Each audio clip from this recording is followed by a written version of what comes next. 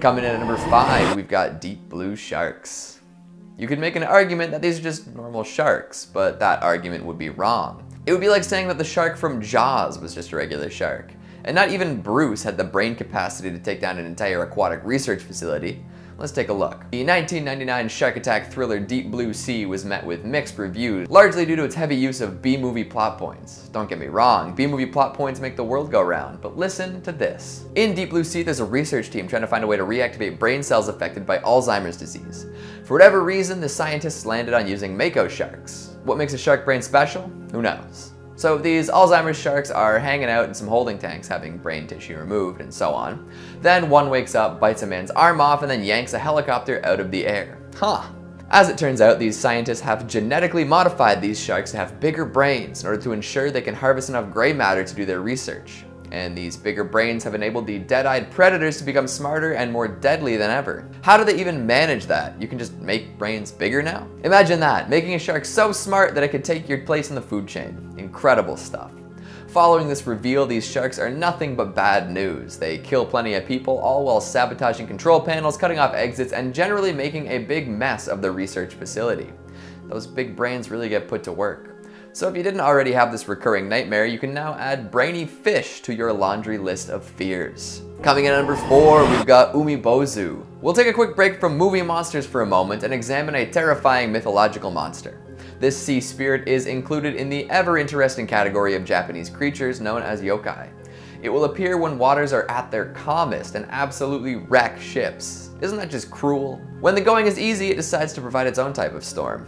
They appear to be large black humanoid figures. Different sizes have been cited, but they're often tens of meters tall. Legends may vary by location, but a common story is that of an umibozu rising from the water and demanding a bucket or barrel from the sailors.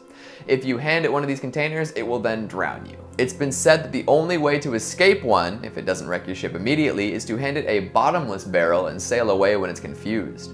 Many people believe that Umibozu sightings are simply the result of seafaring folk incorrectly seeing other naturally occurring phenomena. It could very well be clouds or other large sea organisms. Still, you don't want to take any chances with giant paranormal monsters. The origins of the Umibozu are murky at best, and there are no stories that clearly depict its creation or first appearance. However, some say that they are the spirits of dead priests that were tossed into the waters.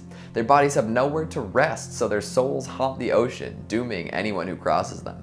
Sheesh. Coming in at number three, we've got Gillman, also known as the creature from the Black Lagoon. It's hard to look at this classic creature nowadays without conjuring up the many, many other beasts that paid homage. Swamp Thing, Davy Jones's crew, and of course the amphibian man from The Shape of Water. Hollywood was shaped by this slimy, girl-chasing man-beast. Sure, it seems campy and done to death at this point, but way back when, it was a thrilling icon.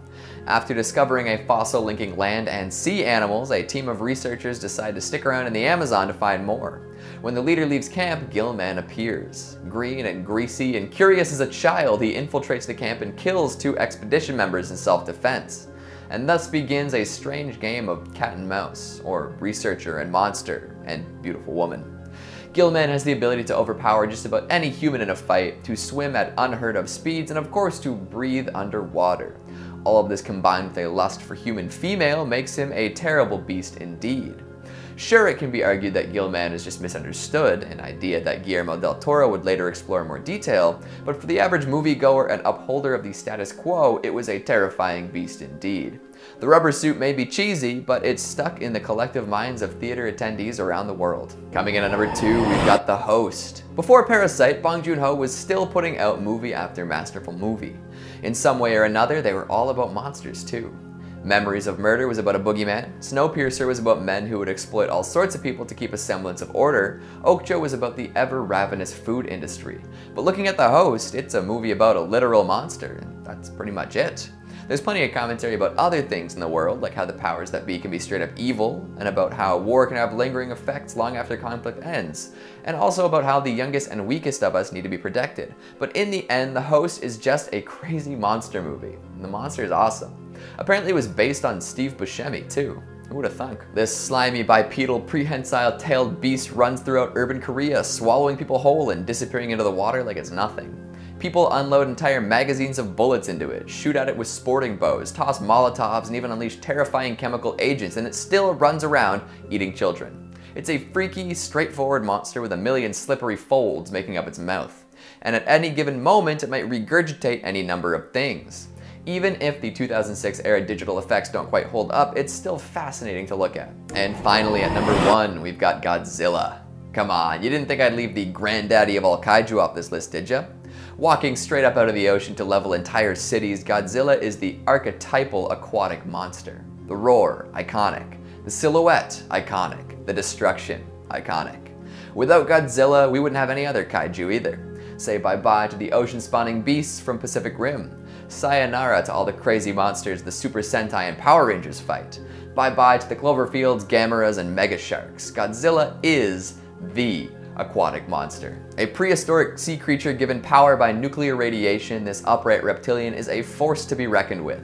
Described by a doctor in the original film as a transitional creature somewhere between marine and terrestrial, there's nowhere to hide from Godzilla.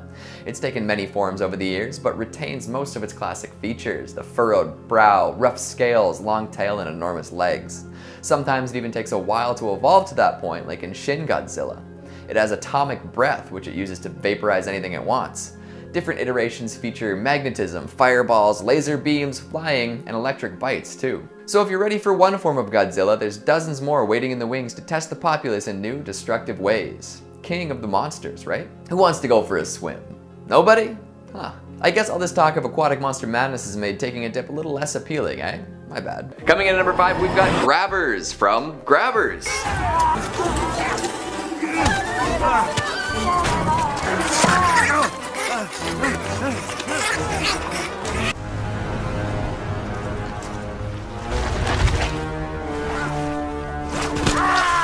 There should be a more scientific name for these brutes, but I haven't heard an accurate description yet. Well, not more accurate than grabbers anyways. They're weird, fleshy masses of tentacles and blood-sucking tongues who kill whatever they can get their tendrils on. At first, it doesn't seem to be a big deal. They take down a bunch of whales and lay some eggs in the sand, but they only subsist on blood and water, so there's no way they could make it on land and kill a bunch of folks, right? Well, unless they show up on a remote, rainy Irish island, and then they can flop around to their greasy little heart's content, now couldn't they? Uh-oh. They come in all sorts of shapes and sizes, from little floppy baby ones that might end up attached to you like an oversized leech, to mid-sized mama ones who could hypothetically drain all the blood from you after grabbing your head, to gigantic, truck-sized, swirling balls of limbs who can tear vehicles apart and swallow people whole. Yeesh.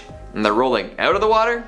That's bad news. The one saving grace is that they're so purely dependent on blood and water that alcohol can really mess them up. Feeding them booze straight up is a bit of a challenge though, considering they're extremely aggressive predators, but there's a workaround. If your blood alcohol level is high enough, they won't want to drink it. And if they do, they'll get knocked the fuck out. Classic. I always knew drinking in excess would save my life someday. These rules don't apply to other horror movies, unfortunately. Drink too much, you probably get stabbed. Oh, and the big ones can definitely still kill you even if you're plastered. Yeah, they might just slap you to Kingdom Come with one of their many tree-sized tentacles. Maybe postpone the Irish vacation until all the beaches are cleared of eggs, eh? Hey, if you're liking this video so far, make sure to give it a big thumbs up. It really helps us with the algorithm.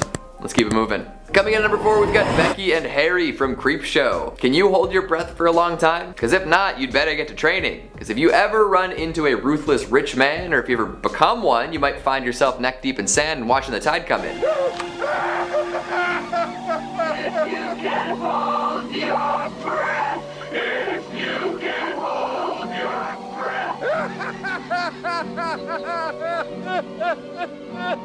This one comes from the short Something to Tide You Over. Of course, the millionaire himself, Richard Vickers, is only the beginning of this aquatic horror story. After finding out that his wife Becky has been unfaithful to him, Richard lures her lover Harry out to a secluded beach and buries him alive at gunpoint. Becky gets buried too, and they're all connected by CCTVs. Richard heads back up to his luxurious estate and watches the two panic as the tide inches closer and closer. And hey, if they can hold their breath long enough, they might be able to wriggle out once the water covers them and loosens the sand. Eesh. Well, they do find a way to get free, but not not as living, dry human beings. No, they come back as waterlogged, revenge-seeking seaweed people. Guns can't hurt them.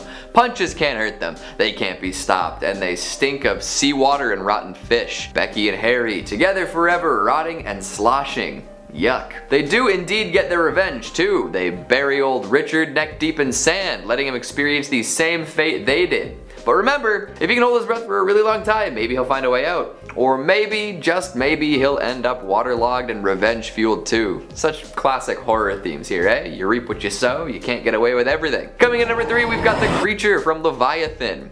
Widely underappreciated, Leviathan is a wonderful work of special effects mastery. The underwhelming plot might have something to do with its relatively small renown, but there are enough wicked scares and awesome creature moments to make up for that.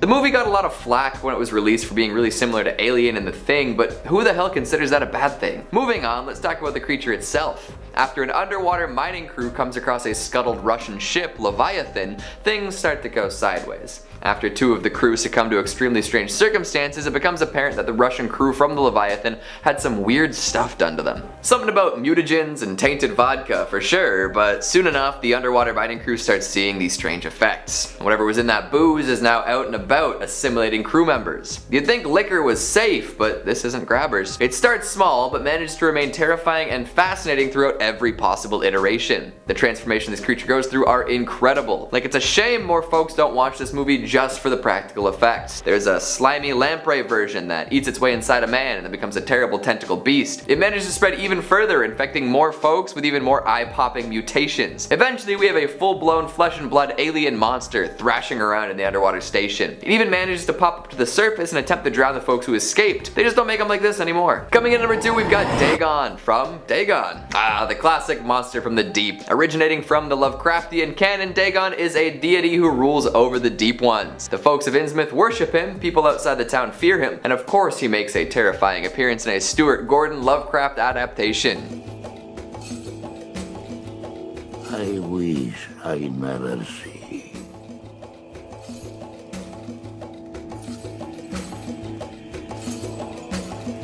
Innsmouth is exchanged for Imboca though, and the esoteric order isn't named as such, but the terrifying nature of the beast remains. After falling on hard times, the villagers of Imboca are convinced to worship Dagon instead of God. This allows them to return to prosperity, but at the cost of blood sacrifices. Dagon demands human women to breed with, until all the regular humans die off, leaving only the half-human, half-sea creature abominations to populate the village. These creatures are horrid in their own special ways, with slimy fish heads and awful screeches galore. None of the lesser beings compared to the big bad himself though. While only making brief appearances in the movie, Dagon's presence is overwhelming. He permeates every aspect of the sleepy, creepy village as our protagonists discover more and more awful details. The sacrifices and rituals he demands are pretty filthy too. Skin flaying is just the beginning, but it's also shown in full gruesome detail. Lovecraftian creatures thrive on our own fears and being beyond comprehension. Dagon's effect on the humans that come into contact with him is scary in its own special way, even if we never really see the entire creature creature. And coming in at number one, we've got Cthulhu from Underwater. And speaking of Lovecraftian creatures, why not cap off the list with the legendary Great Dreamer himself? That's right, we are talking about one of the biggest, baddest creatures out there. Somehow awakened for a guest appearance at the end of this recent aquatic horror flick Underwater,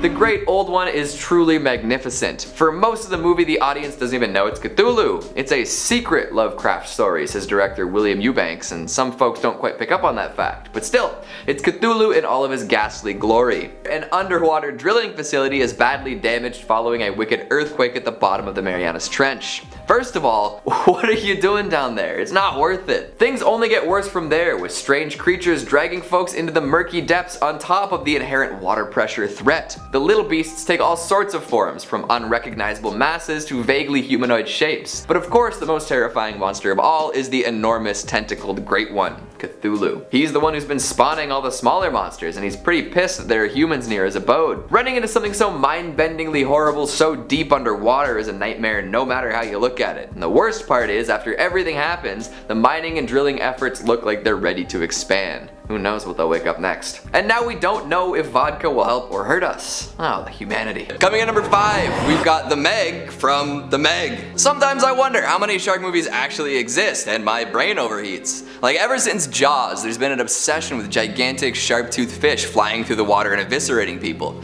Sometimes they jump way out of the water, other times they manage to sneakily chew a limb or two off a swimmer. Hell, there's even been instances of them finding their way into a tornado or two. But the most recent big shark flick took the idea and supersized it, like quite literally too. While it might not be a horror movie by strict standards, it definitely delivers on the terrifying aquatic monster. This movie is all about a team of scientists who come across a whopping 75 foot long megalodon shark. That is the titular Meg. Could you imagine ever seeing a predator that was 75 feet long, especially in the dark murky depths of the ocean? Well, here's the thing. 75 feet is just the beginning. Spoilers for anyone who's really invested in this shark movie that came out two years ago. So after all sorts of crazy underwater antics, the crew manages to snag the Meg. They caught the thought to be extinct mega shark. Rejoice! But hold on. It's way too early for the shark to be done so. We're only like an hour into the movie. Well, if you thought there had to be more, you'd be right. While celebrating their catch, the crew witnesses something truly awe-inspiring. Another, bigger megalodon shark speeds its way onto the scene and eats the first one. After instilling a sense of awe in the audience early on with the original giant shark, they decide to blow those expectations out of the water with an even more enormous aquatic monster just awesome. Say what you will about the movie as a whole, there is nothing cool than a giant shark getting devoured by an even gianter shark. Coming at number 4, we've got Piranhas from Piranha 3D. For another journey into the land of absurdly sized fish, let's take a look at Piranha 3D. This is B-movie schlock at its peak.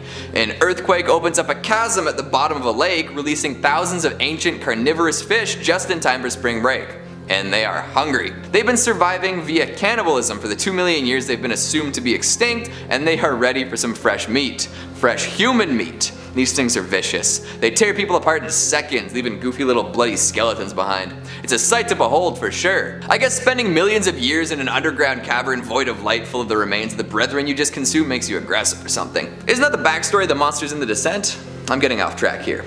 Most movies use the anticipation of the monster to really sell the scares, but not Piranha 3D. These things go full tilt from the very beginning. They rise from the bottom of the lake and don't stop eating until the very end. And really at the very end they're still eating. Sure, the kills start small, but they grow by orders of magnitude. We open on a lone man being devoured, then we get a fishing boat, then some scuba divers bite the big one in the sky. Of course, the bit that everyone remembers is when the piranhas plow through a beach party. Thousands of lives extinguished. Just like that. Whirlpools of piranhas tear people apart with seemingly zero effort, followed by fish jumping out of the water to get at all the landlubbers. And the best part? Piranha did the bigger, badder thing before the Meg. That's right. The piranhas that take out an entire crop of spring breakers are actually babies. They're immature, only a fraction of the size of a full grown one. Then, as the movie ends, we catch a glimpse of a full-size piranha, bigger than a grown man. And there's more on the way. I love B-movies. Coming at number 3, we've got the bioluminescent creature from Sea Fever. Our first two movies reveled in the bombastic, so let's slow it down for a second. Sea Fever is slow and suffocating in its application of aquatic terror. It really takes its time getting under your skin, but boy, when the fear strikes, it strikes big. It's one of those movies where you're never quite sure if what you think is happening is actually happening, but plenty of clues keep the tension high. Siobhan, a reclusive scientist, finds herself on an Irish fishing trawler heading out to sea. The captain steers the ship towards an exclusion zone knowing that there are plenty of fish out there even if it's off limits. He doesn't tell the rest of the crew though, leaving them to assume that their big catch was just lucky and outside of the exclusion zone. The exclusion zone was erected for good reason though, as the folks aboard soon find out. During their journey, something stops their boat. Goopy, slimy breaches appear in the hull, and whatever's causing them continues to hold the boat in place. Thinking it's a shoal or something similar, Siobhan hops off the side to do a research dive and discovers the culprit. Glowing tentacles originating from a gigantic organism way down below. It is so vast that she cannot see the full form of it from where she is. After their encounter with these strange tendrils, the boat is freed and off they go. But that's just the beginning. See, the big creature manages to infect a crewmate by cutting his hand, injecting larvae into his bloodstream. He starts acting weird, and at first the captain chalks it up to sea fever, you know, when you're stuck on a boat, you start going a little crazy. Too late though, because this guy's eyes explode out of his head, and the more mature larvae make it into the ship's water supply. Anyone could be infected at that point. The bioluminescent creature manages to be incredibly scary while also somewhat sympathetic. It's just an unknown animal doing its best to survive as animals do. They shouldn't have been in the exclusion zone anyway. Although the monster isn't really a virus, sea fever manages to be extremely painfully prescient, as folks want to leave quarantine to get help without considering that they could cause so many more problems in doing so. Coming in at number 2, we've got the creatures from the beach house. Now if you really want to get Lovecraftian with your aquatic monsters, you gotta head down to the beach house. If an aquatic creature is bioluminescent, it probably means that we as humans were never meant to see it. They come from the deep, deep depths, and encountering anything like that is probably the result of hubris. In the beach house, a young couple heads down to a beach house for some time off. They find that a couple of family friends are there already to have one last vacation before terminal illness takes hold of the wife. After eating some edibles, everyone has a weird experience involving water quality, fog, glowing stuff, and more. These oddities are assumed to be side effects to the consuming of marijuana, so nobody thinks too much about it. The morning after has a different story to tell though. The beach is empty save for some strange jellyfish and everyone seems to have sustained odd injuries. The older couple, Mitch and Jane, are acting very strange, with Mitch walking into the water and not returning, and Jane remaining in a catatonic state. Soon it becomes apparent that something is very wrong with the jellyfish seeming to infect people, turning them into flesh-hungry zombies. They send little bugs skittering and slithering into people's open wounds, and if you don't rip them out quick enough, you'll end up as a milky-eyed automaton. In addition to the jellyfish and bugs, there's also an infectious fog that will do similar things to people's minds and bodies. Not ideal. Whatever these beings are, they've fundamentally changed life on Earth in the Beach House's world. If you're a fan of the color out of space, you'll appreciate this one. And finally at number one, we've got Bruce from Jaws. Easy number one pick, right? You can't go wrong with this shark-infested classic. Jaws set the standard for every shark movie to follow and hasn't ever been matched. Not to mention that it literally birthed the blockbuster. Plus it scared people out of swimming, boating, and in some cases bathing for ages. It inspired folks to get out on the water and kill sharks for sport, which led to some terrible problems with the shark population. That's how much sway it had. The influence this aquatic monster had on the hearts and minds of people is insane to say the least. In addition to branding the image of a gigantic horrible shark into the brains of every man, woman, and child, it also managed to be very restrained with its implementation of the underwater apex predator. Sure, it was probably thanks to plenty of malfunctions in the shark animatronic, but rarely actually seeing the shark really ups the white knuckle tension. That and the iconic strings. To this day, people know exactly what you're talking about if you sing dun dun Dun, dun, dun, dun, dun, dun. People who haven't seen Jaws know that that means a shark is coming. Phenomenal stuff. Plus, Jaws stays socially relevant. Consider the implications of closing down the beach and therefore business on Amity Island versus what's happening as a result of this pandemic. It might seem like I'm reaching, but the comparison stands. Jaws will never get stale. Good thing winter's coming, that'll keep you away from the water for a little while. No swimming means no shark attacks, right? Or unknown glowing monster attacks, or piranha attacks. You get what I'm trying to say. Coming in at 5, Umibozu. Umibozu is a paranormal phenomena or yokai from Japanese folklore. Little is known of the origin of Umibozu, but it is a sea spirit and as such has multiple sightings throughout Japan. Typically, Umibozu appears to sailors on calm seas, which quickly turns tumultuous, either breaks the ship on emergence or demands a bucket or barrel from the sailors and proceeds to drown them. The only safe way to escape an Umibozu is to give it bottomless barrel and sail away while it is confused. They appear and disappear in the oceans often at night and it is thought that they would suddenly appear on what was previously a calm sea surface as a giant black bozu head and destroy ships. In the Tohoku region there is a custom of sacrificing to the gods the first fish caught when fishing and it is said that if this is not followed, Nambozu would appear and destroy the boat and kidnap the boat owner. They are also said to change their appearance and in Kesennuma, Oshima, Miyagi Prefecture there are tales of them shapeshifting into a beautiful woman and engaging in swimming contests with humans. Odd. Outside of Japan, they are half human legends about sea monks and sea bishops related to the Imbuzu. Coming in at number 4, Ikuturso. Ikuturso, meaning the eternal Tursu, also known as Ikutursus, is a malevolent sea monster in Finnish mythology. As of now, Meriturus means octopus in Finnish, named after Ikuturso, but originally Turus is an old name for walrus. This aquatic creature's appearance remains unclear, but he is described with several epithets. Partalainen, the one who lives on the brink,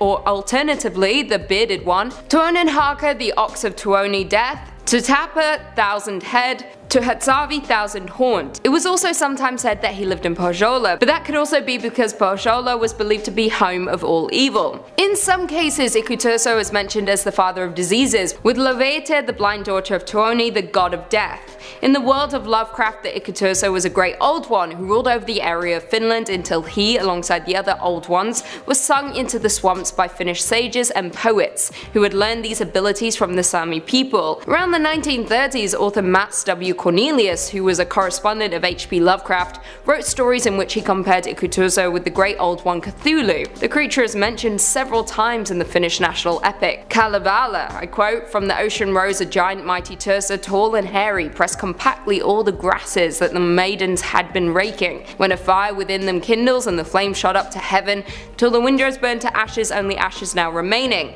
Of the grasses raked together in the ashes of the windows, tender leaves the giant places in the leaves he plants an acorn. From the acorn quickly sprouting grows the oak tree tall and stately. From the ground enriched by ashes newly raked by water maidens. Spread the oak tree's many branches rounds itself a broad corona, raises it above the storm clouds. Far it stretches out its branches, stops the white clouds in their courses, with its branches hides the sunlight, with its many leaves the moonbeams, and the starlight dies in heaven. Coming in at number 3, Cirein Croin. Cirein Croin was a large sea monster in Scottish Gaelic folklore famous from one specific saying, I quote, Seven herrings a salmon's fill, seven salmon a seal's fill, seven seals a large whale's fill, seven whales a Cirein Croin's fill. Local folklore say this huge animal can disguise itself as a small silverfish when fishermen come in contact with it. Other accounts state the reason for the disguise was to attract its next meal. When the fisherman would watch it in its small silverfish form, once aboard it changed back to the monster and ate him. The creature has a typical water dragon or serpent shape that is vicious and terrifying, consuming anyone who crosses its path. Also sorry this point was so short, it's literally because Cirein Croin has no information about it. You can check.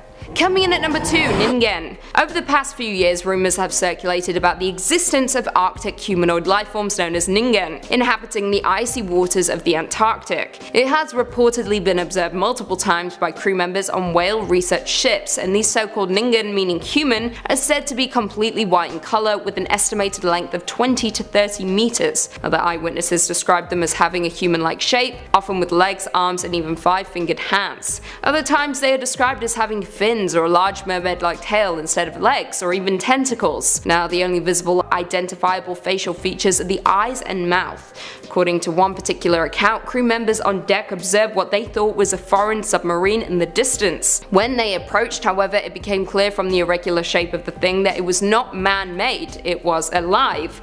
It then disappeared under the surface of the water. These Ningen stories garnered attention with an article being printed about the Antarctic humans, with the article speculating on the possibility of unidentified creatures inhabiting the southern sea. Sadly, to date, no solid evidence has been presented to confirm the existence of the Ningen, Sightings still occur to this day though, most frequently at night, making them all the more difficult to photograph. Whether they are dangerous we have no idea, however they are absolutely terrifying to look at, which is why they make it to number 2. And finally coming in at number 1, Leviathan. The Leviathan is a sea serpent monster of immense size from Jewish belief, referenced in the Hebrew Bible and the Book of Job, Psalms and the Book of Isaiah, and the Book of Amos. The Leviathan of the Middle Ages was used as an image of Satan, endangering both God's creatures by attempting to eat them and God's creation by threatening it with upheaval in the waters of chaos. St. Thomas Aquinas described the Leviathan as the demon of envy, first in punishing the corresponding sinners. It is also classified as one of the seven princes of hell, corresponding to the seven deadly sins. In Judaism, sources describe the Leviathan as a dragon who lives over the sources of the deep, and who, along with the male land monster Behemoth, will be served up to the righteous at the end of time. I quote, The sea monsters, the great fish in the sea, and in the words of the Agada, this refers to the Leviathan and its mate, for he created the male and female, and he slew the female and salted her away for the righteous in the future. For if they would propagate, the world could not exist because of them. According to sources, the body of the Leviathan, especially his eyes, possesses great illuminating power. This was the opinion of Rabbi Eliezer, who in the course of the voyage in company with Rabbi Joshua explained to the latter, when frightened by the sudden appearance of a brilliant light, that it probably proceeded from the eyes of the Leviathan. In modern usage however the term Leviathan has come to refer to anything, specifically any sea monster and from the early 17th century has also been used to refer to overwhelmingly powerful people or things, including Moby Dick. Coming in at number 5, SCP-3700. 3700 is the designation for a circular area in the North Sea with a diameter of 800 kilometers, encompassing the archipelagos of Faroe. I hope I'm saying that correctly. Orkney and Shetland. It has an abnormal depth, with the seafloor located 5 kilometers below the ocean surface compared to an average 250 to 300 meters for the rest of the North Sea. This SCP is subject to a wide and varied array of anomalous occurrences due to ritualistic interactions between two entities, which have been designated SCP-3701 and SCP-3702. Effects of SCP-3700 are entirely entirely dependent on which entity successfully subdues the other during each ritual. All rituals, with the exception of two consistent dates, take place at random periods of time.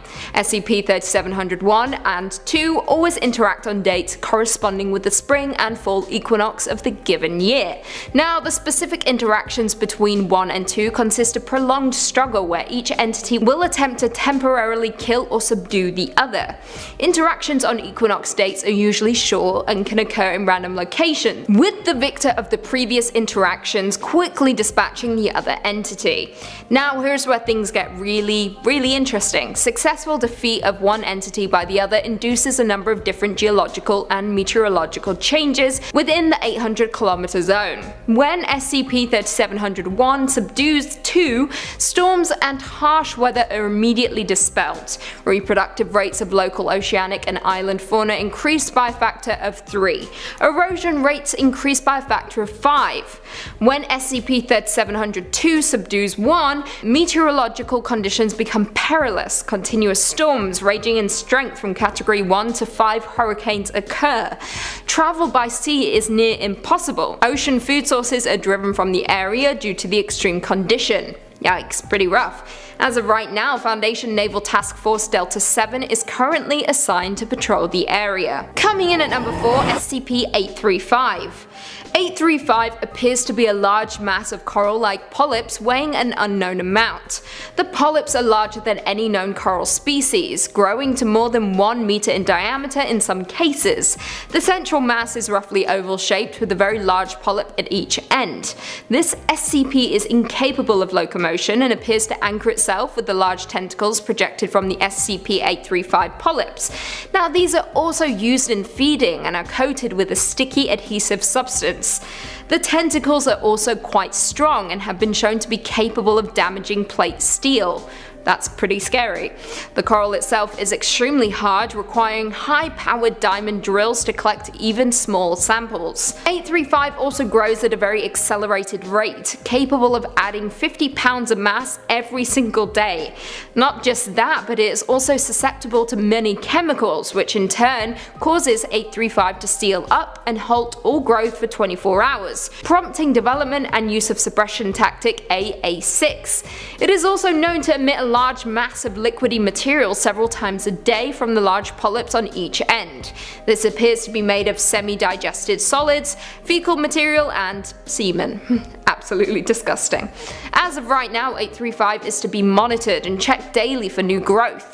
In the event 835 becomes hostile, suppression tactic AA6 is to be immediately implemented until aggressive action ceases. The containment area must be maintained in open ocean due to the highly aggressive response of 835 to confinement for any length of time. Coming in at number 3, SCP-3934.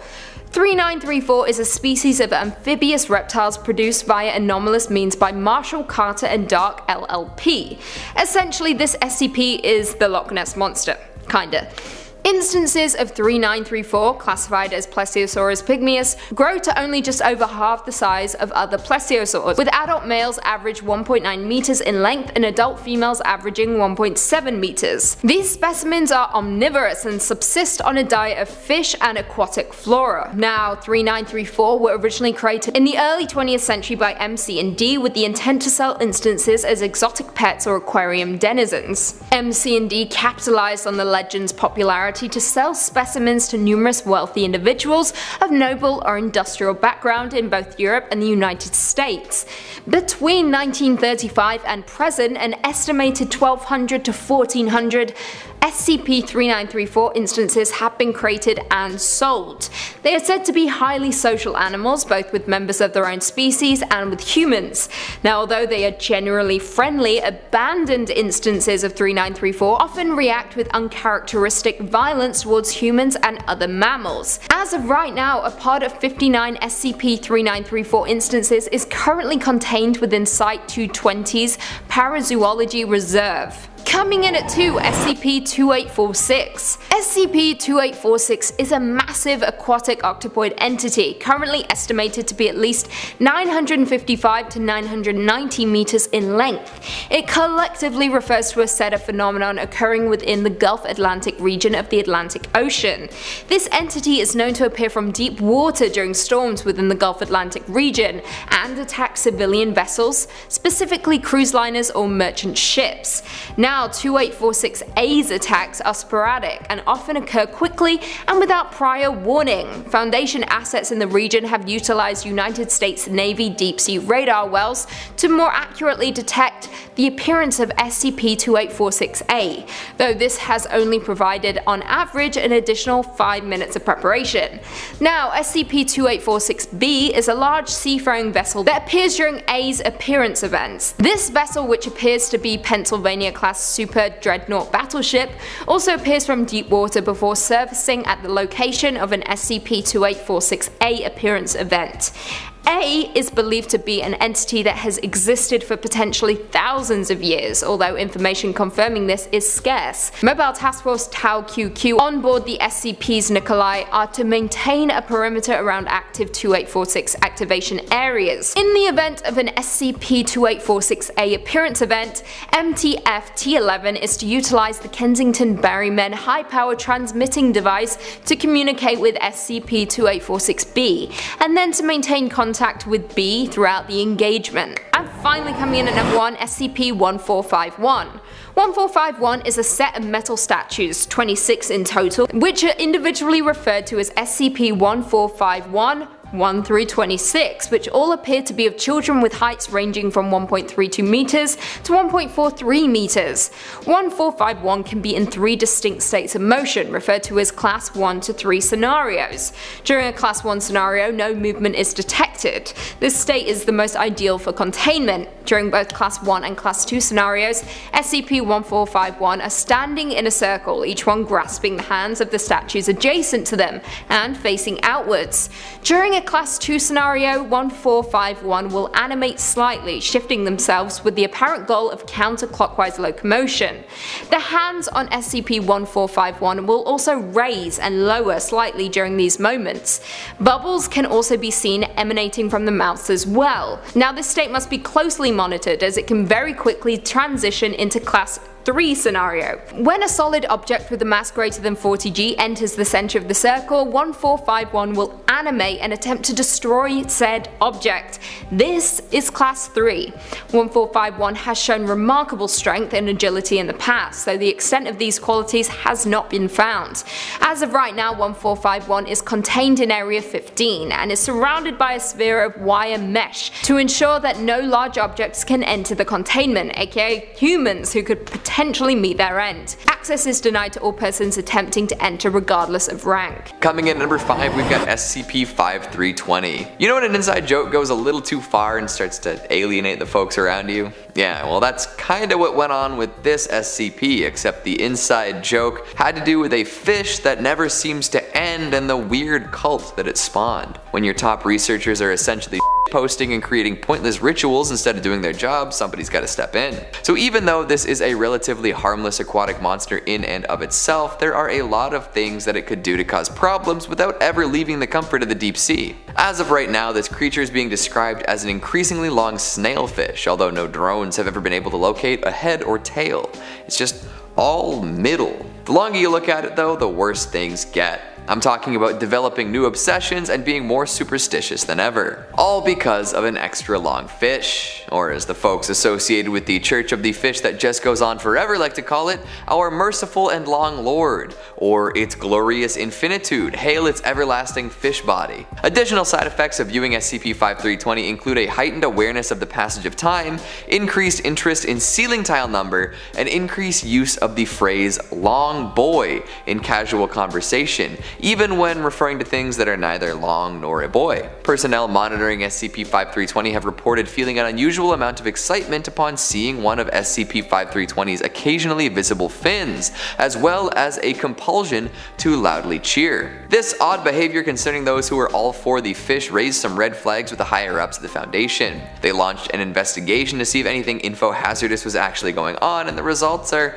inconclusive at best. It seems that all this can be explained away by saying folks tend to get involved with silly superstitions and inside jokes, especially when they're working on something boring for an extended period of time. But it could also be that the fish is info hazardous and drawing more people under its influence by convincing anyone who looks at it that it's all just goofery. I'd keep a close eye on anyone involved with the Long Lord himself, and even those only tangentially related to it. Coming in at number 4 we've got SCP-1836. Be careful while roaming the seas, you never know what you could run into. And hell, there are a lot of things out there that have been around a lot longer than us and probably have more claim to the stuff that lives in the ocean. We, as modern humans, often believe we can just do what we want with no consequences. This, as we're finding out quite quickly, is not necessarily the case. Take SCP-1836 for example. An enormous iceberg located in the Cunningham Inlet, colored green and containing all sorts of anomalies. The green color actually doesn't have any anomalous properties, it's just trapped algae.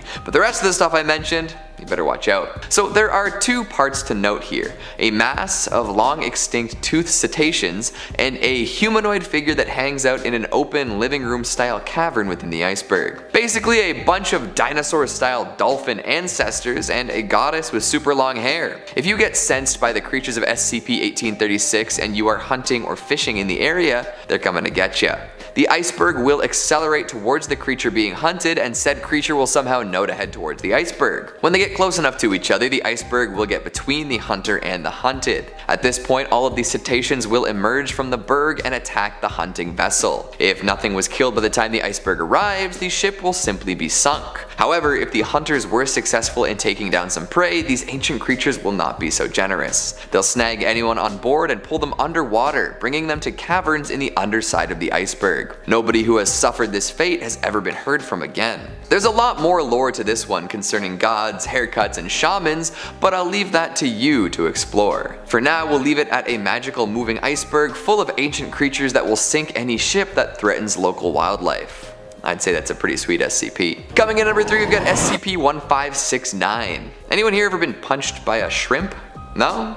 Well, thank your lucky stars because that is the last thing you want. Especially when it's a massive, weirdly modified peacock mantis shrimp meant exclusively for punching extremely hard. I'm sure you've heard of a peacock mantis shrimp before. They're famous for being able to absolutely annihilate stuff in front of them with extremely fast punches. If you put a regular one in an aquarium, there's a good chance that it will smash the glass by displacing water in such a way that it creates like a shockwave. But when you get one as large as 1569, you better believe it can cause a whole lot more damage. The big shrimp is 1 meter tall, 2 meters wide, and 9 meters long, and get this, its punch can strike with a force of up to 51,000 newtons. That would just vaporize someone, and imagine the shockwave. At first it appeared that this odd underwater entity had the intelligence of an average dog, and was content to just hang out with people. Sure, it would go and absolutely pulverize some underwater prey from time to time, but other than that it just seemed like an extra powerful version of a creature that already existed. However, one day something weird happened. The shrimp went dormant and opened up like a living mech, and out popped the dude in competitive swimwear. And if I'm understanding the subsequent events correctly, this dude was essentially piloting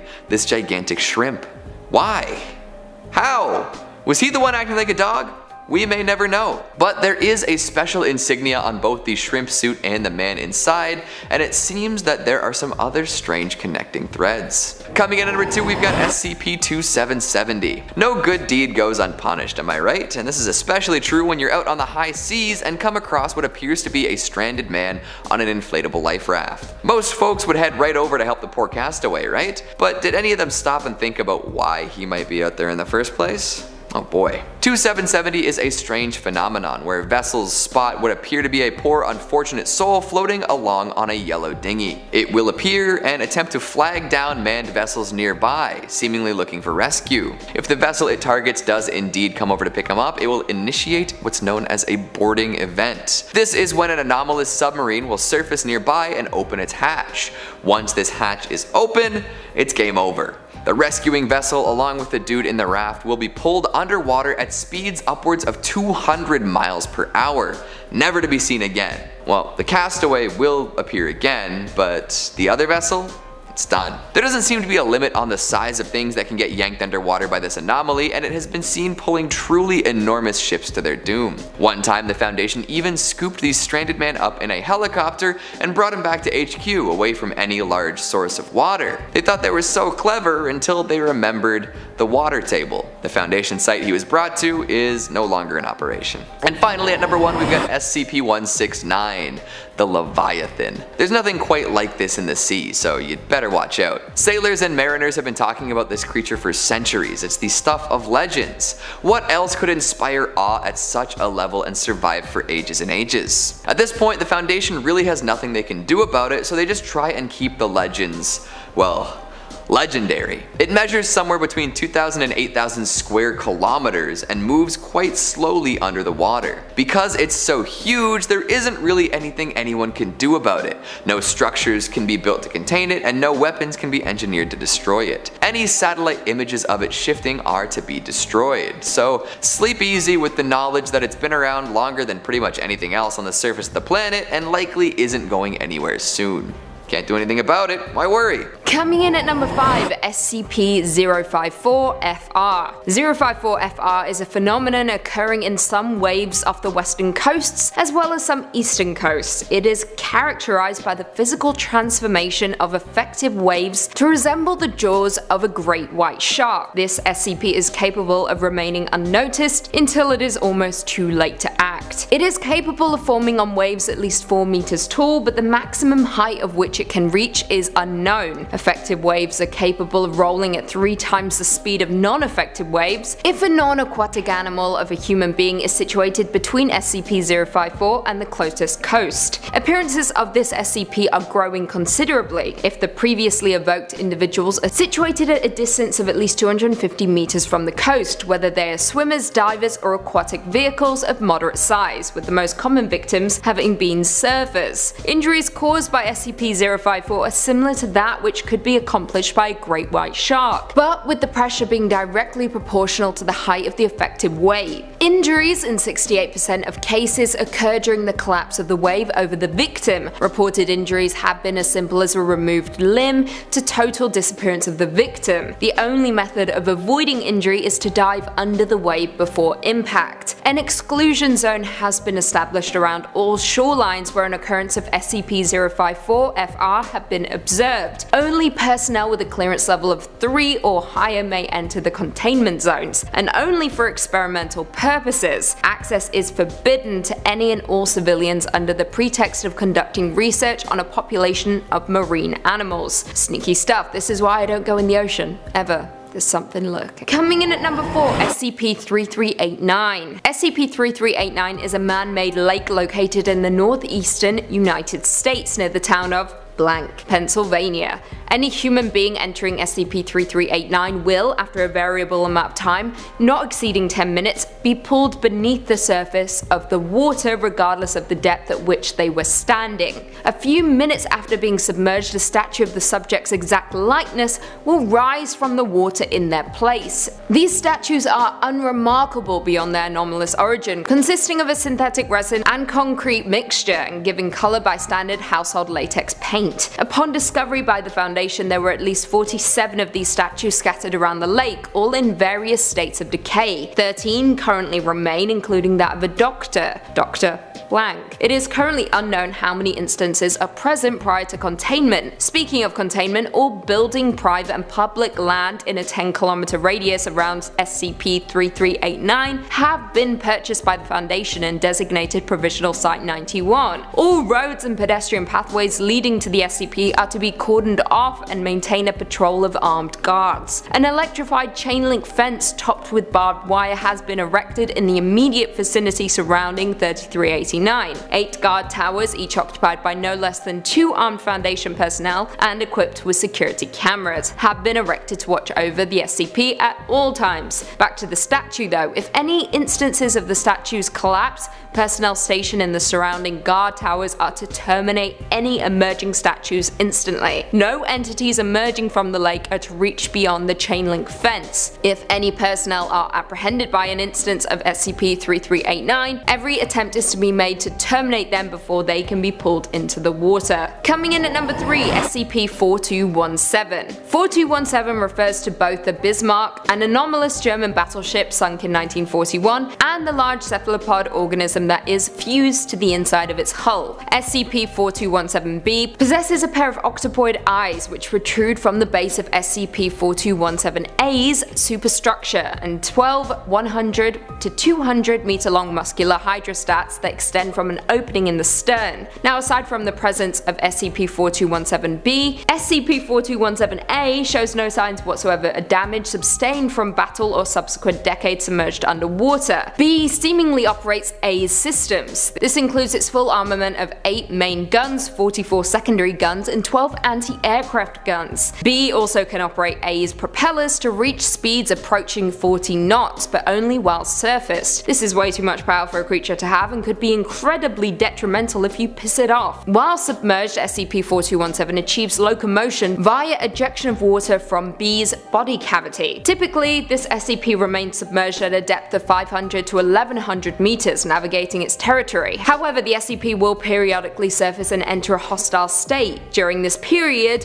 it will seek and attack non-threatening targets. Now, Foundation naval forces are to patrol the SCP's territory with three or more battleships under the guise of the British Royal Navy. During a hostile state, naval forces are to engage with the SCP until it reverts to a passive state. Survivors from civilian vessels attacked by the SCP are to be recovered and processed in accordance with maritime disinformation protocols. Coming in at number 2, SCP-1128. SCP-1128 is an entity that manifests as a massive aquatic predator to anyone given a full description of the being's appearance through either spoken, written descriptions, or visual depictions of the being. Persons infected by SCP-1128 will initially exhibit no abnormal behavior, though some cases show a general aversion to activities involving bodily immersion in water such as bathing or swimming. Should subjects become fully immersed in water, they will disappear completely under the surface of the water regardless of the water's actual depth. In most cases, they will reappear moments later in a panic state and frantically try to leave the water. However, in other cases, the water will become polluted with blood and debris, confirmed to be the remains of the subject. That sucks. The subjects that reappear intact claim that they were transported to a vast ocean where they were pursued by SCP-1128. Interviews with the surviving subjects carry further contamination as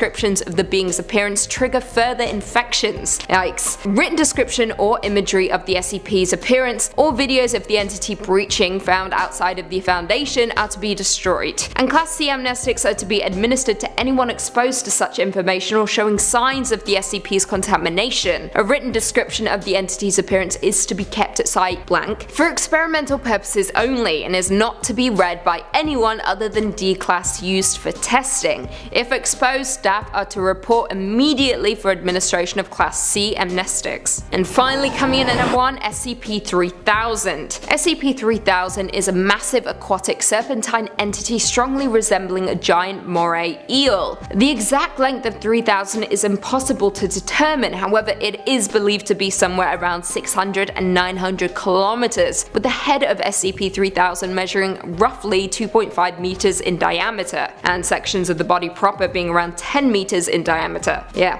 Horrifying. Now 3000 is typically a sedentary creature, only moving its head in response to certain stimuli or during feeding. The majority of its body is located around the Ganges fan and rarely moves at all. SCP-3000 is carnivorous and despite its sedentary nature is capable of moving quickly to dispatch prey, aka us if we were ever to encounter it. Despite its size, it is believed that SCP-3000 does not require sustenance to maintain its biological functions, aka it kills for the hell of it. When 3000 consumes prey, a thin layer of viscous, dark grey substance classified as Y909 is excreted from its skin, with the end result of its digestive processes currently unknown. In some historical records, Dr. Eugene Getz reports on SCP-3000, I quote, The unease was felt throughout the entire crew as we descended on that first night. Whether this was due to our uncertainty at what we would discover or something more sinister, I would not speculate. At around 0940 hours, we first observed the head of the entity. The unease was palpable now. Several other crew members complained of feeling hazy and of being uncertain what they were supposed to be doing. When we were within 50 meters, the entity turned slowly to look at us. Even now, as I recall watching this thing coil around in the darkness, I can still hear Williams barking like a mad dog in the rear of the vessel, screaming and flailing, shouting about how he could see it in his head. Frightening stuff. The area containing SCP-3000, currently a region of the Bay of Bengal, roughly 300 kilometers in diameter, is to be routinely patrolled by Foundation naval vessels. Under no circumstances are civilians allowed to attempt deep sea exploration or diving efforts in the quarantined area. Individuals believed to have contacted SCP-3000 are to be contained, quarantined and processed at Site-151. Sadly there is currently no known cure for exposure to 3000. As such, affected individuals should be contained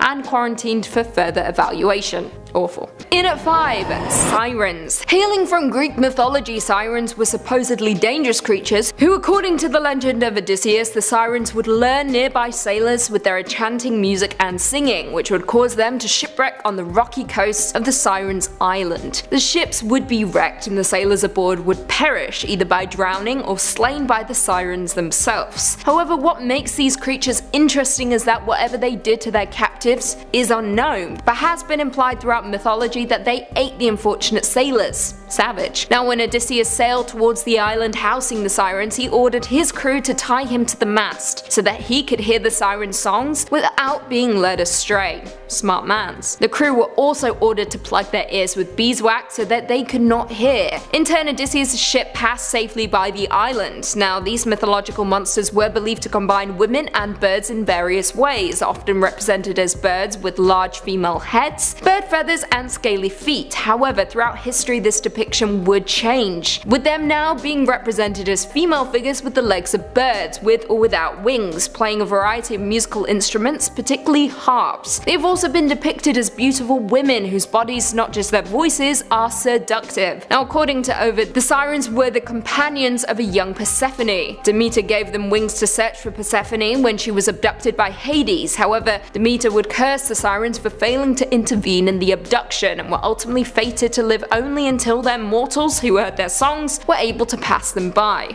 In at 4, Jormungandr. Hailing from Norse mythology, Jormungandr meaning huge monster and also known as the Midgard world serpent is a sea monster and the middle child of the giantess Angboda and Loki. Now according to mythology, Odin took Loki's three children by Angboda, the wolf Fenrir, Hel and Jormungandr, and tossed the latter into the great ocean that encircles Midgard. The serpent then grew so large that it was able to surround the entire earth and grasp its own tail. As a result of this, it received the name the World Serpent. When this monster releases its tail though, Ragnarok will begin. Frightening stuff. Once the beast releases its tail, the seas will become violent as the serpent thrashes its way onto land. Fenrir will set ablaze one half of the world with fireballs while Jormungandr sprays poison to fill the skies and seas of the other half. The two will then join the sons of Muspel into the plain of Vigrid. Here is where the last meeting between the serpent and Thor is predicted to occur. Thor will become occupied with battling Jormungandr and they will be unable to help others as they fight their own battles. Thor however will eventually kill the serpent but will fall dead after walking just 9 paces having been poisoned by the serpent's deadly venom.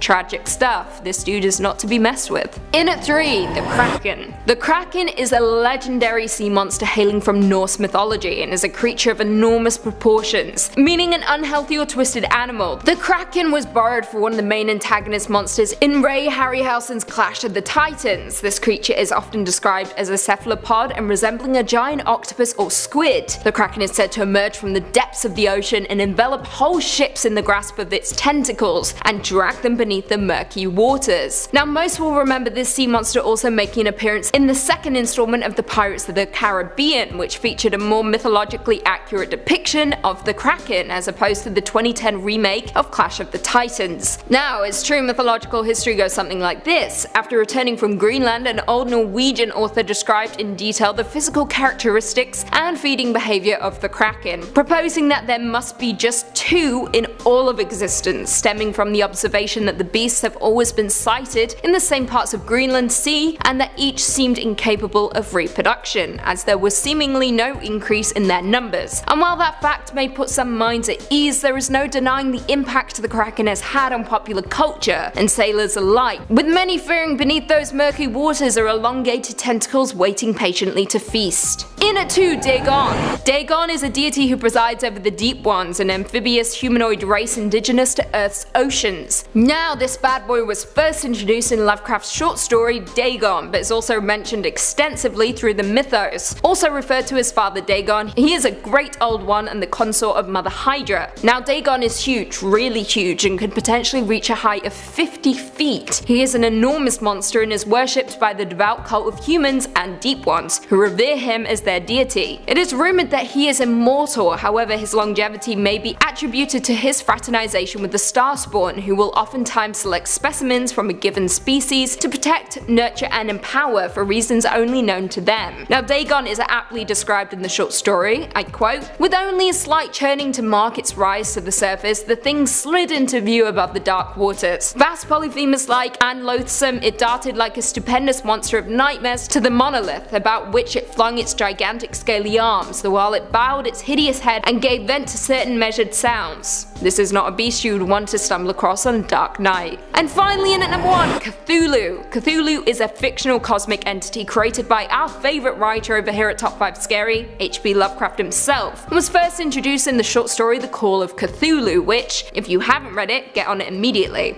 Cthulhu is a great old one of great power that lies in the depth-like slumber beneath the Pacific Ocean in his sunken city of R'lyeh, and remains a dominant presence in the eldritch dealings on our world. Now it's near impossible to describe Cthulhu, however the most detailed descriptions come from the Call of Cthulhu and are based on statues of the creature. One of these statues, constructed by an artist after a series of baleful dreams, is said to have, I quote, yielded simultaneous pictures of an octopus, a dragon and a human caricature, a pulpy tentacled head surmounted, a grotesque and scaly body with rudimentary wings. Horrifying, right? Worse still, this oceanic monster has a loyal group of followers. It is unknown how large the throng of worshippers are, but his cult has many cells around the globe and are noted for chanting horrid phrases that translate to, I quote, In his house at R'lyeh, dead Cthulhu waits dreaming. So, what happens when Cthulhu emerges from his slumber beneath the ocean? Well, the story says that, I quote, the thing cannot be described, but it is called the green sticky spawns of the stars, with flabby claws and an awful squid head with writhing feelers. All I can say folks is that if Cthulhu awakens there's trouble for not just you but for all of us. You have been warned. Coming in at number 5, Cthulhu. Cthulhu is a great old one of great power that lies in the depth-like slumber beneath the Pacific Ocean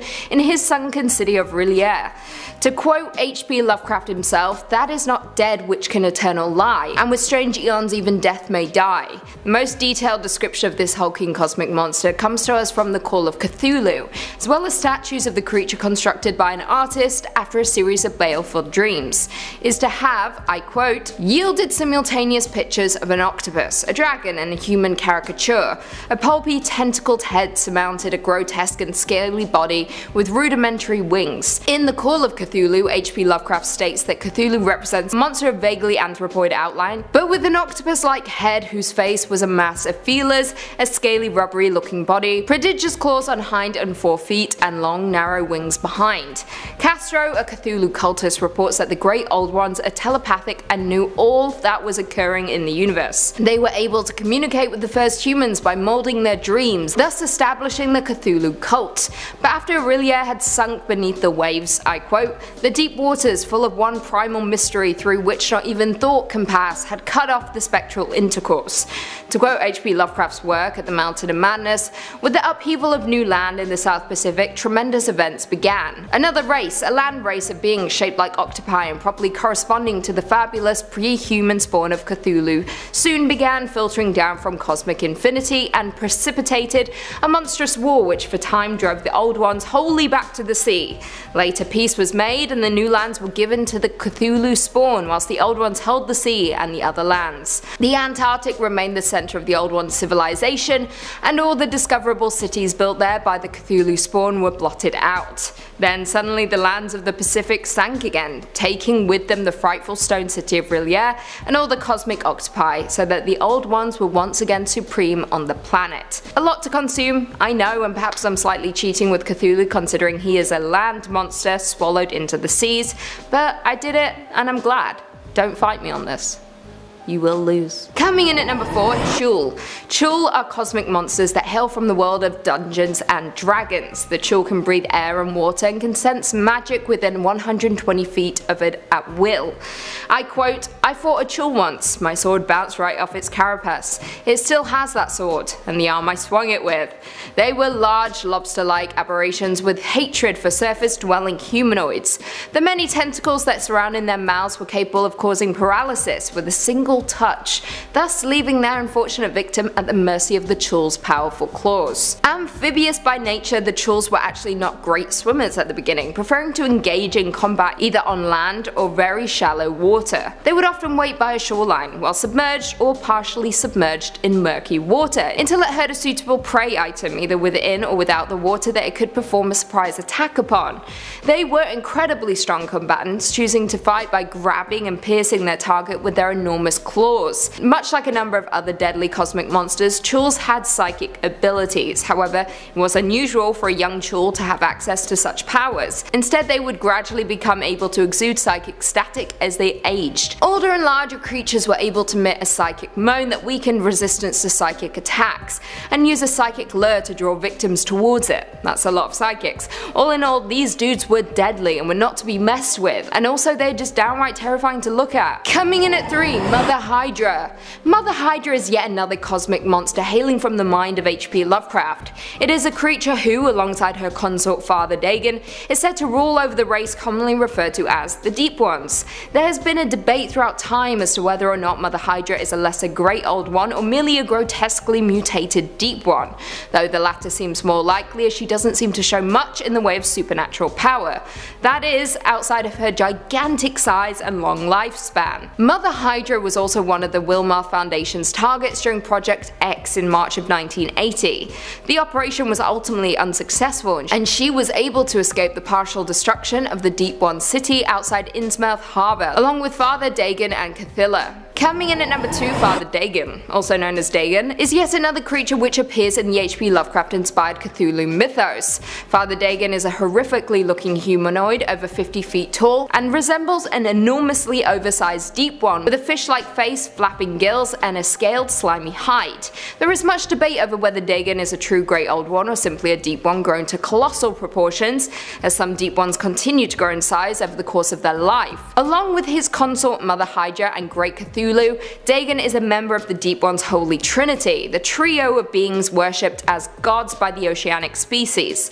Not only that, but Cthulhu also entrusted the guardianship of his daughter Cthylla to Dagon and Mother Hydra, and the pair are thought to hold watch over her in one of their great underwater cities somewhere in the North Atlantic. In addition to their following of Deep Ones, Dagon and Hydra are also worshipped by a cult of humans and human Deep One hybrids known as the Esoteric Order of Dagon. Like our last number, Dagon was one of the targets of the Wilmarth Foundation's Project X in the early 1980s. The objective of the operation was to annihilate Father Dagon, Mother Hydra and Cthylla, but it was unsuccessful and the three escaped safely. And finally coming in at number 1, Drowner of Hope. The Drowner of Hope is an Eldrazi, an ancient race native to the Blind Eternities that have neither physical form nor color alignment. Their nature is ceaseless hunger, so they travel between planes, devouring the mana and life energy until the plane's destruction. Though each lineage has a distinct anatomy, each one of them seems to have commonality. A proboscis located somewhere near a joint acts as a feeding tube, attaching to a subject and draining them of life. Eldrazi proper and their infant spawns have no color alignment, and the mere presence of larger Eldrazi can cause reality to dissipate. However, Eldrazi drones born to serve the larger base species are often aligned. Now what makes this race interesting is that they are genderless, lacking apparent biological sex, and display no awareness of the concept of gender. They are also known to follow ley lines to move on a plane's surface. Now, the Drowner of Hope was specifically created for the oceans, and like I said, drains life from everything it touches. It doesn't get more terrifying than that. Number 5 on this list is Sinkhole Sam. The legend of Sinkhole Sam originated many years ago in Kansas. Sinkhole Sam is said to live in Inman Lake, or as the locals call it, the sinkhole. It's believed to be a 15 foot long serpent-like creature that is as round, and I quote, as an automobile tire. The people who claim that this serpent was 15 feet and round like an automobile tire are Albert Newfield and George Rager, two witnesses of the beast. These men are some of the many people who have stumbled upon this creature and have spoken out about it. Based on the reports, people believe believe that Sinkhole Sam is a type of prehistoric serpent that has managed to survive over the years. Now back before Kansas was even colonized, there were lakes and rivers all over the terrain making it a perfect spot for an animal like this to survive. As time went on, the area dried up and locals believe that Sinkhole Sam took up residence in Inman Lake. As the years have passed though, the sightings of Sam at Inman Lake have been fewer and farther between. However, the sightings of a similar creature at the Kingman State Lake have grown. This lake isn't too far from Inman Lake either, only 50 miles. 50 miles is certainly a long distance to go, but maybe not for a massive serpent like Sam. Sinkhole Sam, in my opinion, is one of the most likely creatures to actually exist. Unlike other sea beasts that are very far from any living animals that we have in our world, Sinkhole Sam, from most accounts, is just a big snake. I think it's super possible that someone has spotted a massive snake over the years in that lake, and through word of mouth, the story has been exaggerated over the time to become the legend of Sinkhole Sam.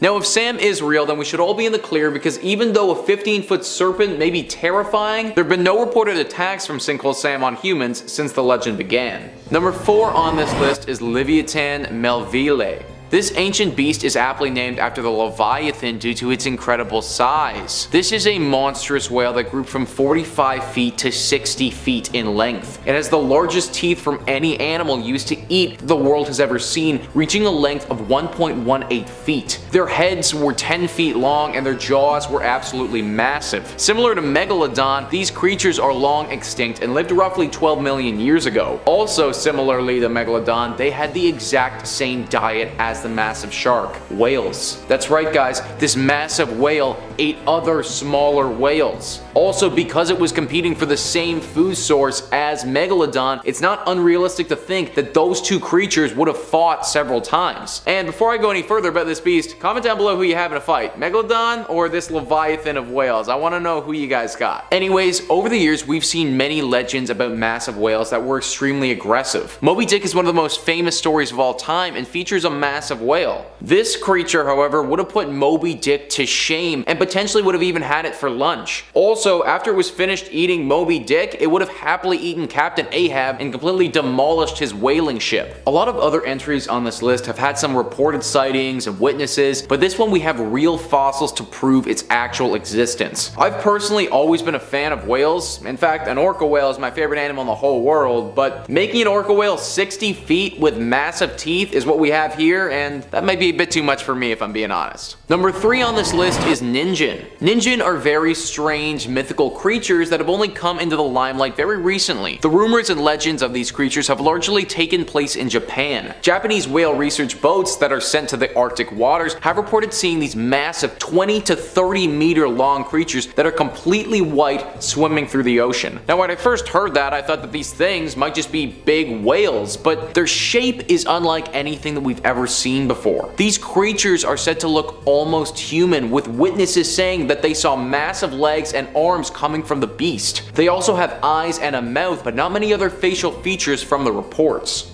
For just over the last decade, stories about Ningen in the Antarctic waters have circulated throughout Japan. One of the most famous was when crew members on the deck of a ship saw what they thought was a submarine in the distance, but when they approached it, realized the creature was alive and watched as it dived quickly underwater. There are some photos that have surfaced on the internet, but nothing that can fully substantiate the claims of this creature's existence. It is also currently unknown if there's only one of these creatures or if there are several of them swimming around the seas. This beast, unlike some of the other creatures that we've talked about, is not just a bigger version of an already existing animal. It isn't just a big snake or a big shark, it's a completely different entity entirely. This makes me think that it would be harder for somebody to confuse a big whale with a creature like this because a whale doesn't look anything like a ninja. Hopefully more sightings and evidence can come to light soon, and we can get a definitive confirmation if this thing is real or not. Number two on this list is the Oklahoma octopus. This mythical octopus is said to inhabit some of the bigger lakes in Oklahoma, like Lake Thunderbird,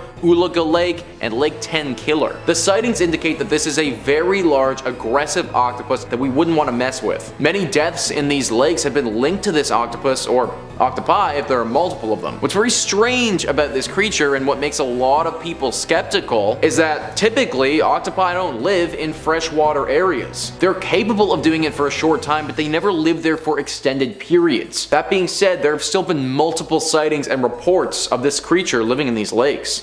It's said to be the size of a horse and has a reddish brownish skin tone to it. It eats what any other octopus would eat, but has a tendency to kill humans in its area. The reasoning behind this is unknown though, because it doesn't actually eat the humans, but only drowns them. Potentially the octopus feels threatened by humans swimming in its water and is very territorial. There's no physical evidence proving the existence of this creature, but the rate of drownings in these three lakes that I mentioned earlier, they're far higher than anywhere else in the area. That statistic, along with the numerous sightings from fishermen and swimmers have locals believing in the legend of the Oklahoma octopus. Number one on this list is Organism 46b. Organism 46b is believed to be a massive 33 foot long squid like creature that was said to have 14 different tentacles. This thing lived in Vostok Lake, which is a subglacial lake located under two entire miles of ice. This creature has the ability to animate its legs after they've been amputated, it's capable of shapeshifting, it's extremely intelligent and also extremely hostile, and it has the ability to immobilize its prey with a a toxin that it could spray up to 150 feet. We've only actually known about this creature for a few years. Although the Russians initially established an Antarctic base on top of Vostok Lake in 1957, they actually weren't aware that there was a lake beneath them until 1974, and then they weren't able to get to the lake until 2012. It was only after that that they discovered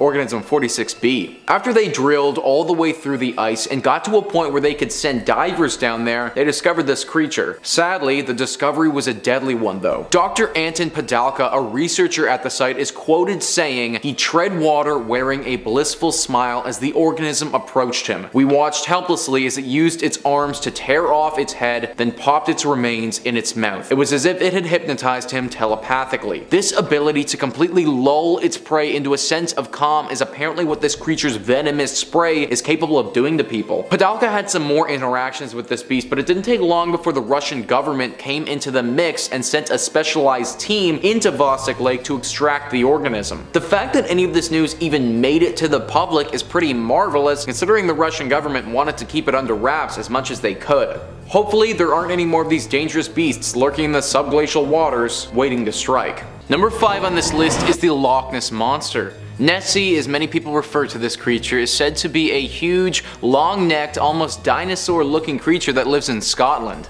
This creature of the deep specifically resides in Loch Ness, a 37 kilometer loch located in the Scottish Highlands. The legend of this sea creature went worldwide back in 1933. A photo was released to the public showing a strange creature's head protruding from the water of Loch Ness. The world went into a frenzy after that photo got out and the legend of Nessie began. Ever since that point, many sightings have been reported, other pictures have been taken, and even sonar readings have indicated this creature swimming in the loch. All of that being said though, we've never had indisputable proof that Nessie's real. Well, I'm here to tell you that Nessie is real, but maybe not how you expect. New Zealand scientists have taken samples of the water in Loch Ness and have studied the DNA that they found in it. Professor Neil Gemmell, a geneticist, is quoted saying, Well, our data doesn't reveal their size, but the sheer quantity of the material that says we can't discount the possibility that there may be giant eels in Loch Ness. Therefore, we can't discount the possibility that what people see and believe is the Loch Ness Monster might be a giant eel. So, the Loch Ness Monster, as we understand it, might not be real, but potentially this loch is full of giant eels that resemble all the features that Nessie's reported as having. Maybe this is why we've had such a hard time proving this myth, because for years, people have been looking for the wrong thing. I really like the legend of the Loch Ness Monster and honestly want it to be true, but if it had to be giant eels, then I think I could accept that as well. Number 4 on this list is the USS Stein Monster. The USS Stein was a Knox-class destroyer ship in the United States Navy. The ship was eventually decommissioned from the American Navy and was transferred to the Mexican Navy in the 90s. That wasn't before it was attacked by a massive sea monster though. In 1978, the USS Stein was attacked by an unknown entity which we now refer to as the USS Stein Monster. This monster was said to have been a giant, with some people estimating its size up to 150 feet in length. The ship was sailing in the Pacific Ocean when it was attacked. Technical difficulties with the ship started going wrong and eventually they brought it back into the port. Upon inspection, the sonar system was completely damaged. There were cuts and gashes over 8% of the ship, with some of them being massively deep. They also found suction cups like those of a squid attached to the ship. After investigation of the suction cups and the gashes, it became clear that what they were attacked by isn't your standard animal. Even a giant squid would have had a hard time doing what the monster did to the ship. Ever since that point, the legend of the USS Stein monster has grown. Obviously, this monster has to be real because it has actually attacked a ship. Sadly, we don't know a whole lot about it though. In truth, we know less about what's on the ocean floor than we do about the surface of the moon. So it's very possible that a creature we aren't familiar with yet is dwelling down there. Number 3 on this list is Megalodon. Would this list really be complete if I didn't include the ancient king of the sea? Eleanor Imster writes, Scientists think that Megalodon looked like a stockier version of the great white shark, with strong, thick teeth built for grabbing prey and breaking bones. Regarded as one of the largest and most powerful predators who have ever lived, fossil remains of Megalodon suggest that this giant shark reached a length of about 60 feet. Their large jaws could exert a bite force up to 24,000 to 41,000 pounds. That is a massive, massive animal, guys. Multiple times bigger than the great white sharks we have today. This thing was so big that it would actually eat entire whales. Now, many myths have surrounded Megalodon and its existence since scientists first brought this mammoth of the sea up. Estimates say that Megalodon went extinct roughly 2.6 million years ago, but some people don't buy into that theory. For quite a while now, the legend of a giant shark still living amongst the ocean has had a lot of people wondering if it's possible. If Megalodon was still alive, is it possible that we still wouldn't know about it? How could we miss a creature this giant? How many of them would there be left in the waters? There are surely a lot of questions that come up if you believe Megalodon is still a reality. If this creature was still alive, then people think the Marianas Trench is where it's located, a place so deep and uncharted that it's hard for us to know for sure what's down there. I'm personally not convinced this creature still roams the ocean, but comment down below your thoughts. Is Megalodon still alive? What do you think? Number 2 on this list is the Kraken.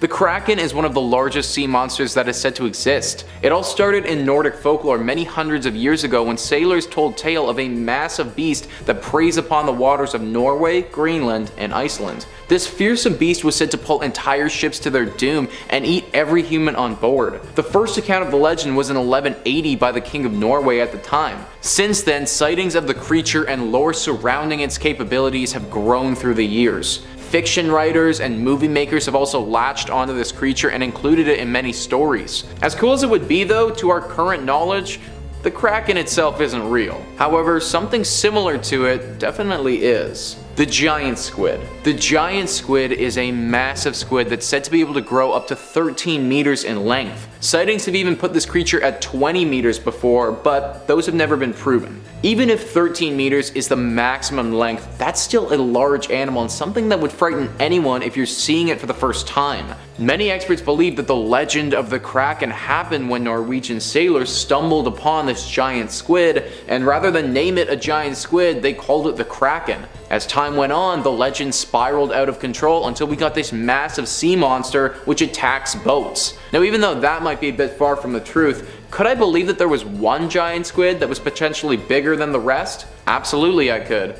I could also believe that this giant squid might have attacked a ship or two in its time and maybe even brought one down. If it did do all of that, then there really wouldn't be any difference between this squid and the kraken. Either way, if you see a massive sea creature with tentacles coming after you, I'd just swim the opposite direction. Number one on this list is the Hook Island sea monster. It was first spotted by Robert Le Serrec in 1964 off of Hook Island and after he saw the monster, he went on to describe it in detail. He said, it was only when we got to within 20 feet of the serpent that we could see its head clearly. The head was large, about 4 feet from top to bottom with jaws about 4 feet wide. The lower jaw was flat like that of a sandfish. The skin was smooth but rather dull, brownish black in color. The eyes seemed pale green, almost white. The skin looked more like that of a shark than an eel. There were no apparent scales nor did we see any parasites around. We supposed the flexible tail would have shaken any off. There were no fins or spines, nor were there any apparent breathing openings, although there must have been some. Perhaps we didn't see them because our attention was focused mainly on the creature's menacing mouth, the inside of which was whitish. The teeth appeared to be small. A fragment of some dark substance hung from the upper row of teeth, possibly a fish. As the monster was lying on the sandy bottom, we could not see the color of its belly. The creature was about 90 feet long. Behind the head, the body was about 2 feet 4 inches thick and remained that way for about 25 feet.